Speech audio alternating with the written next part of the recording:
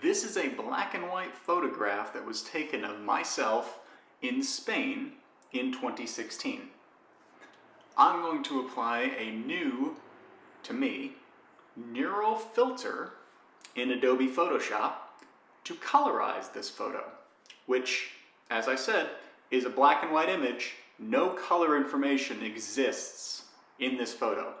When I hit colorize, a whole bunch of things are going to happen and a computer is going to say, I bet this is about what it should look like.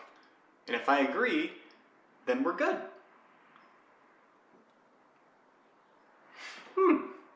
Well, I am the subject, so I do know what color my suit should be. It's not pink. But the rest of this is pretty cool. I'd say my face is roughly the right skin tone. I am wearing a black shirt. The background behind me was relatively sedate colored, as I recall. This is pretty good. Hey, there's my dad.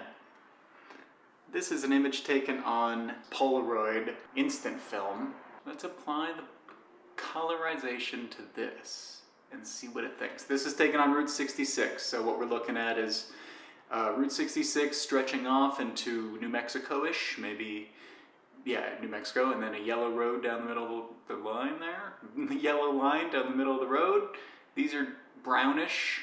Let's see what it does. I know most of these colors. I don't remember what color shirt Dad's wearing. I think it's kind of beigey green, maybe olive. Two, cool, okay. Looks good.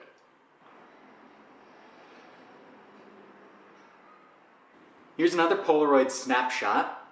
This was taken on Fuji FP3000B.